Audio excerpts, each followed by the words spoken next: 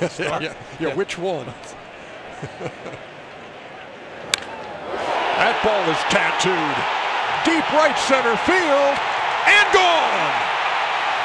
Jason Kipnis, a solo home run. And the Indians have the lead.